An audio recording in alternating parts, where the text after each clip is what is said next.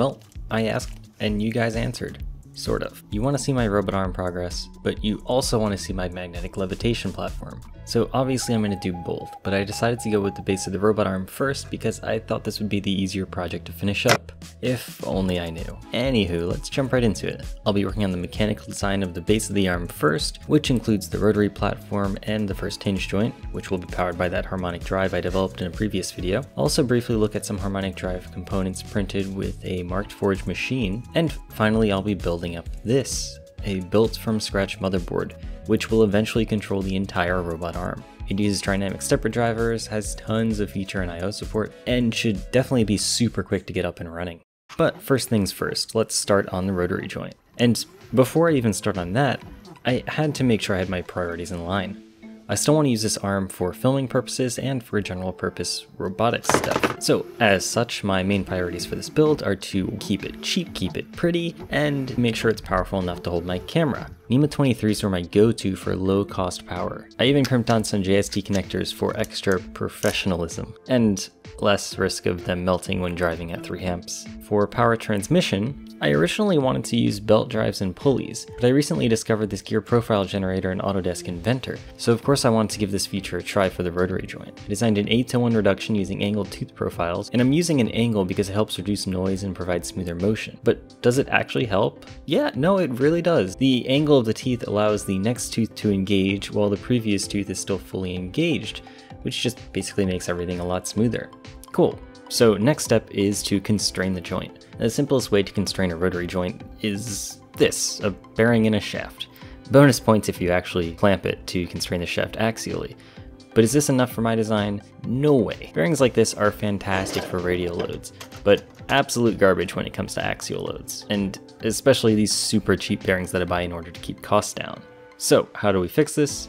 More bearings, of course but not more radial bearings. Instead, we have to add thrust bearings. These bearings are a totally different beast and perfectly complement radial bearings, as they are fantastic at constraining axial compression loads, but trash at just about everything else. So what I did is clamp two of these thrust bearings together with my rotary platform in the middle, I then added a radial bearing in the center, and this ensures that the joint is fully constrained by bearing, which should help provide super smooth and accurate motion even under high loads. Unfortunately, plastic is pretty, well, flexible. And this assembly has a bit more compliance than I would like, but for now this will work. So I'd say it's time to test it. In a previous video I used this off-the-shelf stepper driver, and it worked alright, but it's pretty big and for the price, it's not very advanced. I wanted to build my own motherboard from scratch, both to reduce the total cost and to make sure I had all and only the features that I want in the board. So after weeks of planning and designing, it was ready. A huge thank you to PCBWay for sponsoring this video and providing me with the boards and stencils. I ordered this board with the matte black silkscreen, which looks absolutely fantastic. I then ordered all the components to populate the board with, but I had to get a little creative since some, alright, most of the important ones were out of stock. I had to make pre-orders, order from multiple sources, and even steal some chips from other projects and boards. But in the end, I just couldn't acquire the MOSFETs that I wanted to use with these new stepper drivers. No worries though, I found a similar spec alternative in the same package and ordered them. Great, so next step is to apply the solder paste using the stencil. Then very carefully place all 200 components.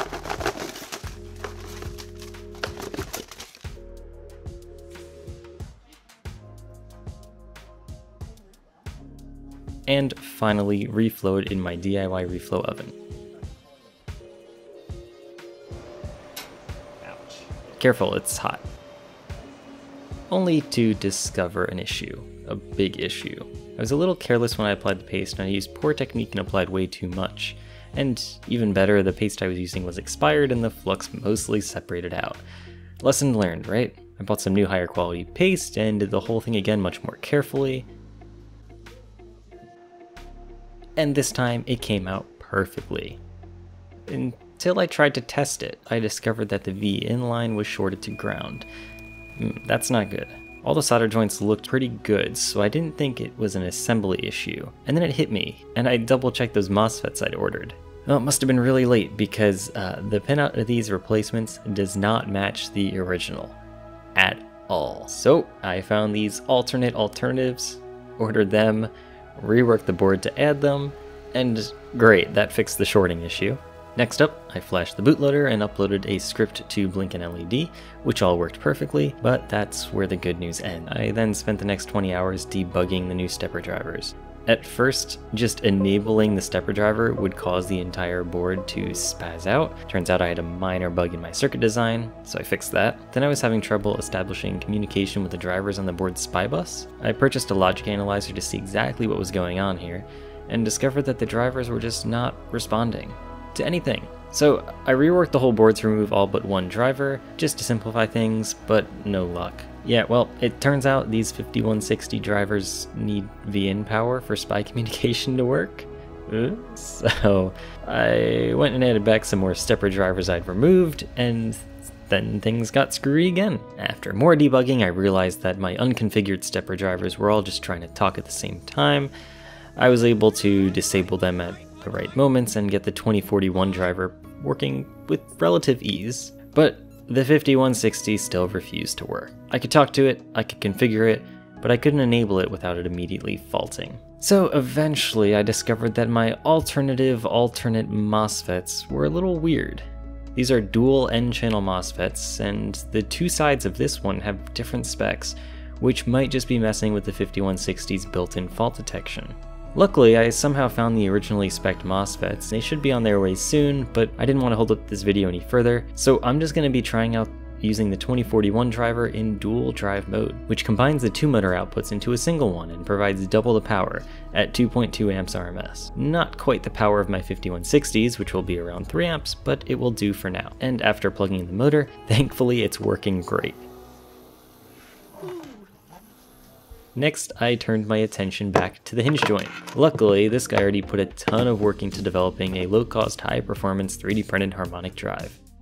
And even more luckily, Bobby over at Maker's Acres reached out to me and offered to print some of the harmonic drive components in a more advanced material. It's a nylon-based filament with the option of adding a continuous carbon fiber reinforcement. Unlike the chopped fibers and cheap PLA you can buy, which do increase rigidity but are super weak, this special material by Markforged increases strength and rigidity. Bobby sent me the wave generator both with and without the carbon fiber, and as you can see, there's a huge difference between them. This carbon fiber filled version is about as flexible as the PLA, but it's going to be way tougher. So I'm going to go ahead and install this now. He also sent me some of the flex splines done in the nylon. These are a bit more flexible than PLA, but once again should be way more durable. We'll be evaluating the long-term performance of these components versus PLA in a future video. But for today, I need to figure out how I'm going to integrate the harmonic drive into the rest of the design.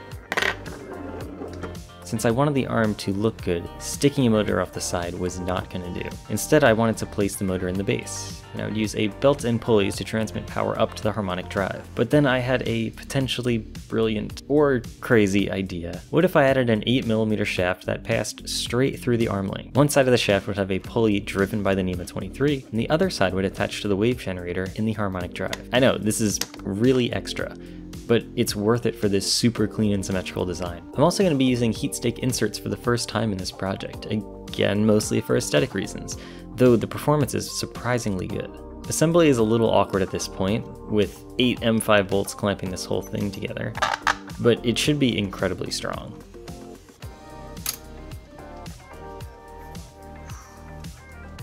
I'm still using this test arm from my previous video, and that's just because I'm not done with the final design of the arms yet. So as to not waste too much plastic, I'm just gonna pop a hole in this and use it here. And wow, yeah, this thing is ridiculously large. It really looked a lot smaller in CAD, but hey, I'm committed now. The observant of you may have noticed this tooth profile opposite the harmonic drive. That does serve a purpose, but I'll get to that in the next one. On a totally unrelated note, I wanted to quickly mention that I've been working on developing a compact absolute magnetic encoder for each joint, but unfortunately due to the ridiculous amount of time I spent debugging the OSR Prime board, I wasn't able to start testing these just yet. I am really excited for them though. They should add a lot of capability to this arm for almost no cost. Alright, testing time. The rotary joint is working fantastic, but the harmonic is having issues.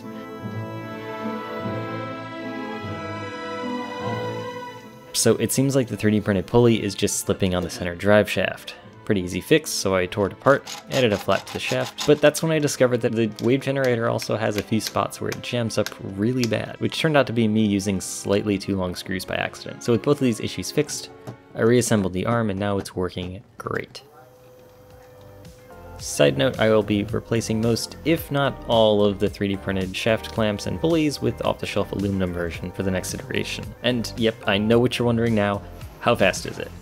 Well, the rotary is surprisingly fast. It can run at 5 radians per second with ease and still have tons of torque, and it doesn't max out until well above 10, with low loads, of course. The hinge is much slower, with a max speed around 1 radian a second, but a max usable speed about half of that. This isn't too surprising though, as the joint has a whopping final reduction of 102 to 1. As for power, it's a little tough to test it right now without bolting the base down, but I don't want to do that yet as I'm not really sure where I want it to live. The rotary joint feels like it's got about 3 or 4 newton meters of torque at speed, and the hinge, well, it's definitely got way more than that. It doesn't struggle at all lifting itself up. And the base is not light. This thing weighs almost 3 kilograms already, but it can definitely lift more. You know what, let's, let's just do this. Here seems good.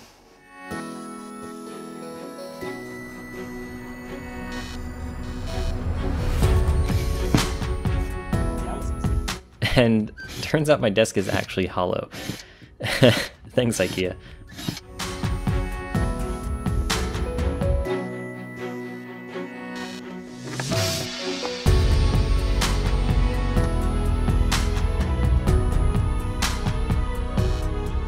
So I'm just going to run through a bunch more tests, see how much power this thing really has.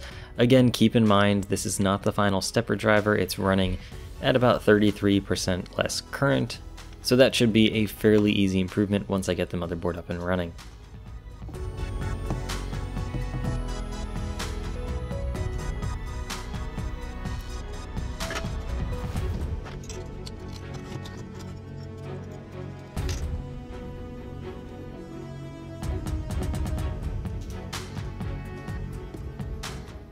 Overall, I'm super happy with the progress I've made on this robot arm. It is a surprisingly solid unit. I'm really excited to start building up the rest of the arm. But for that, you're gonna have to wait till the next video. Thank you all for watching. As always, a huge thanks to all my Patreon supporters. If you enjoyed the video, please like the video and subscribe if you haven't already. It really helps me out. And that's all for this one. Until next time.